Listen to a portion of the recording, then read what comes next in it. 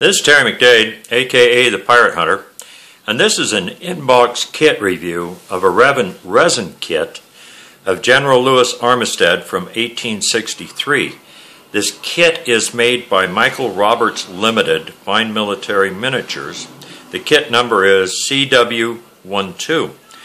I bought this kit from lastcavalry.com, which the owner, Dave Youngquist, after I'd ordered it, I got a phone call from a number I didn't recognize, and there was a voicemail. So it was from the owner, uh, David Youngquist, explaining to me about when he had, was going to ship this and everything else. So I called him back and had uh, quite a conversation with him. It's really unusual for a business to call you and explain when they're going to ship it and when they're going to do this and when they're going to do that. So I would suggest if you get a chance to go to his website. It's lastcavalry.com. He's got a pretty good set up of uh, resin accessories, Fred Rex uh, accessories, the plants in this. So go check it out, uh, see what it's like. Like I said, it's a pretty good website, and the guy's pretty good to deal with. So let's look at the kit here. The box has just kind of filigree stuff on it. It's got what it's got on the, the information on the end on the kit. It's a color picture of General Armistead. This was uh, the most famous one from when uh, he led the charge at Gettysburg.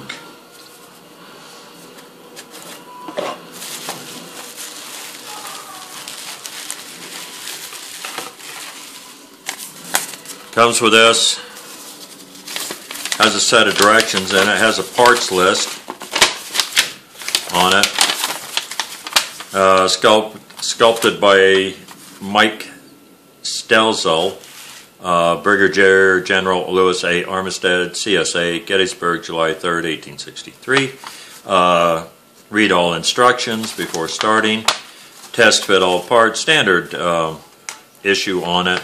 Uh, attach head, legs, haversack, binocular case in any order, attach spurs, measure cut and attach plastic strip to fit between the ends of the binocular straps on body and binocular case, attach arms to body and hands with sword and scabbard to arms, attach sword knot to sword, measure and cut sword slings to size. First sling should be approximately one half inch, second sling approximately one inch.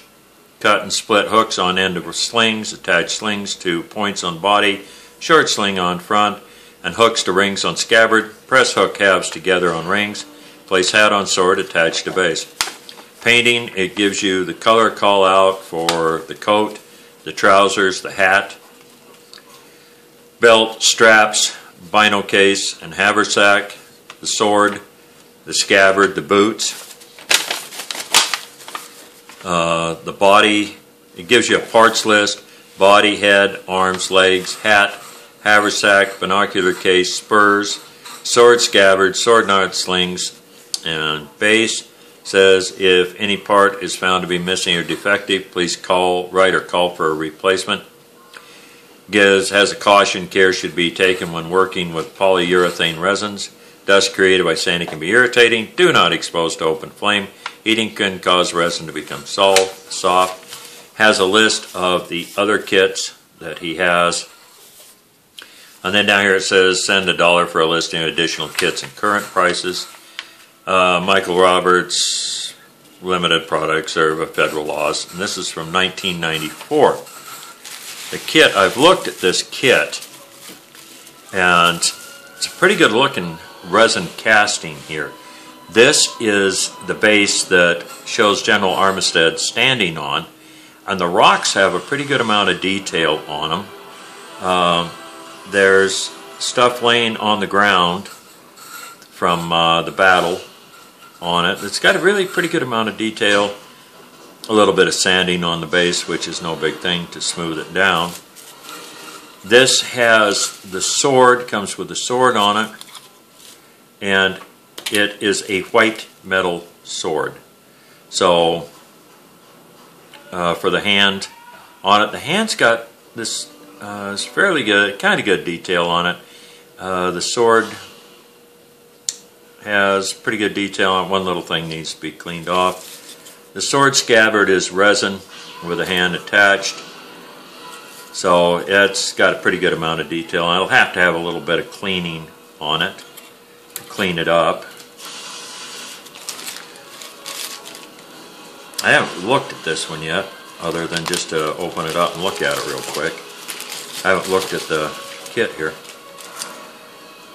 The body is got pretty good amount of detail on it. It's pretty crisp detail on it. There is, you know, on the ends here, a little bit of work that'll have to be done on it. The where he's talked talked about where it needs to be attached and where the sling has to come down across here on it. you know, on that. The hat has a really good amount of detail on it. There's the hole through it that the sword goes through. It's a little bit closed, but it's no big thing to open it up.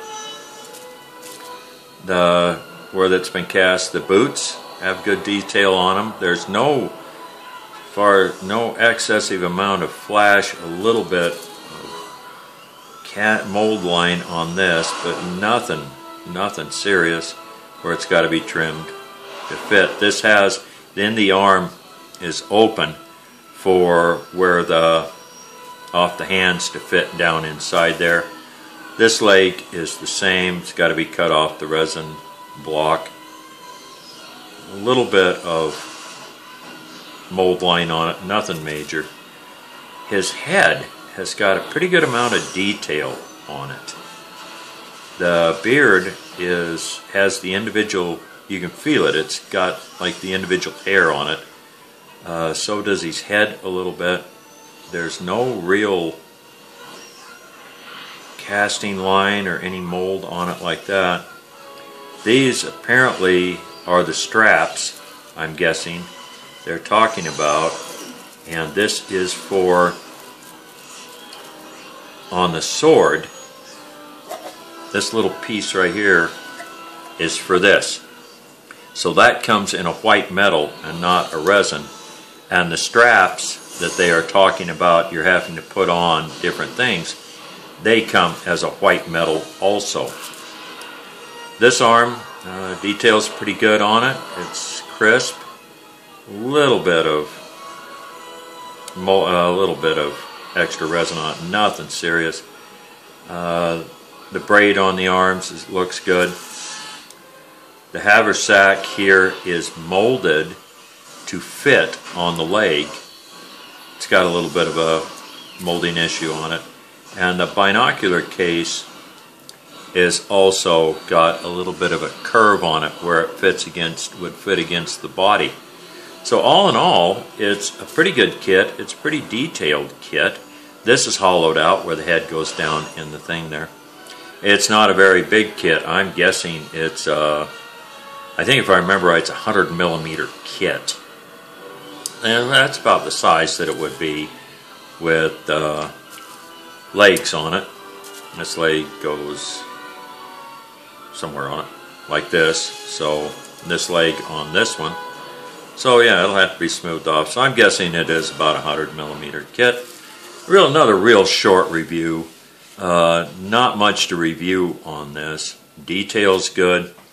Everything's pretty crisp on it. A few things to cut off. The hat might be a little bit of an issue to get that big a casting block off of.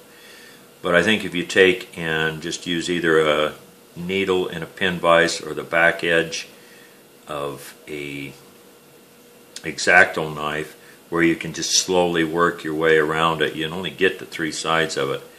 And take your time. It should come off fairly good on it. Everything else is good. Looks good. This you'll have to, as you can see, you'll have to run on a sanding block to smooth it down from the raised edges on it all in all, it's a good looking kit. Uh, go check out LastCalvary.com. They are a really good website to check out. So, and the guy is very good to deal with. He carries a whole bunch of different stuff. Well worth it. Uh, a good person to deal with, and that's unusual for me to give a shout out to any manufacturer. So, again, this is Terry McDade, aka the Pirate Hunter. And to quote the great Jerry Springer, take care of yourself and each other.